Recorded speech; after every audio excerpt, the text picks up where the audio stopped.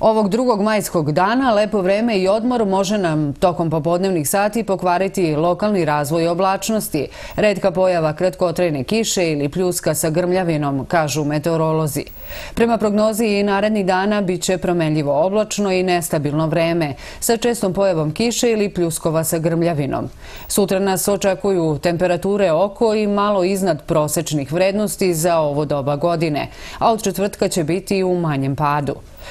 Očekivana biometeorološka situacija može relativno povoljno uticati na hronično obolele, osim na osobe sa kardiovaskularnim oboljenjima, kod koji su moguće izvesne tegobe. Meteoropatske reakcije moguće su u vidu glavobolje i osjećaja umora.